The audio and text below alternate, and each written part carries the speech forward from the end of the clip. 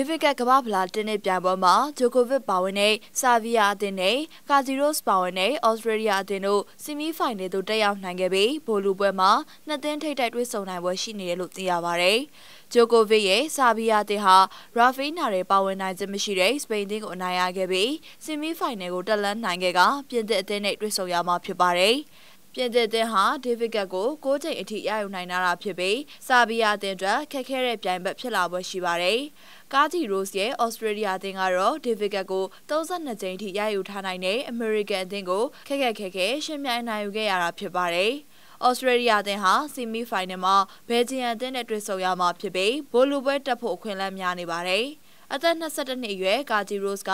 ဩစတြေးလျအသင်းကောင်းဆောင်လေတန်ဟူဝစ်ကသူ့ကိုအသင်းကောင်းဆောင်လုပ်ဖို့တောင်းဆိုခဲ့ပြီးသူကလည်းအဲ့ဒါကိုပျော်ရွှင်စွာနဲ့လက်ခံခဲ့တယ်လို့ပြောခဲ့ပါတယ်။ကာဂျီရိုစ်က